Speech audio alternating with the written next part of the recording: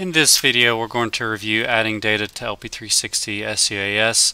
You may have created some LAS uh, point cloud files uh, and also orthomosaic uh, raster images in software packages such as Metashape or Pix4D. And we're just going to review how to add those now.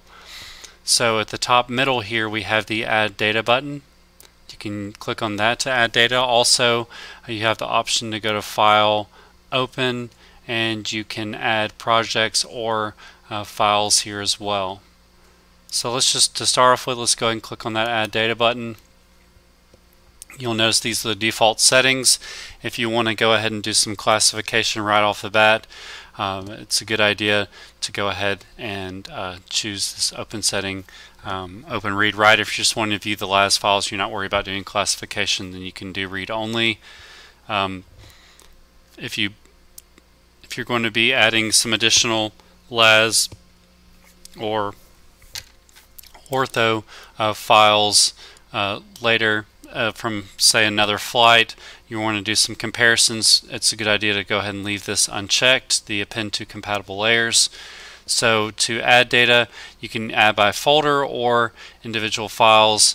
I usually use the um, add individual files so let's go and click on this plus button so already already in my in, in my uh, LAS uh, folder, I'm going to go ahead and choose my LAS file and click open in the bottom right.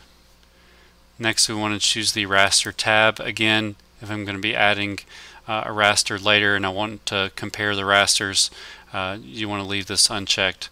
Uh, otherwise um, default settings are fine. So let's go ahead and click the plus button here We're going to go to our GeoTIFF file that we created in Metashape. I'm going to click open in the bottom right.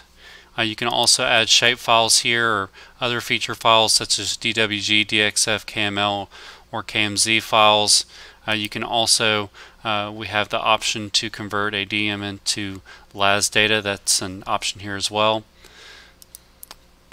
So I've got my LAS, my raster uh, selected. I'm going to go ahead and click OK you should see something like this. I'm using the scroll wheel to zoom in and out.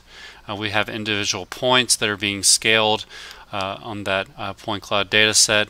Uh, I can also toggle that on and off here in the top middle. We've got our raster uh, file loaded as well.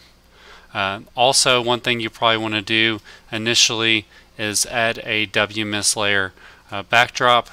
So I'm going to go ahead and click that now. Should see options like this. I usually choose Google Hybrid. select that now.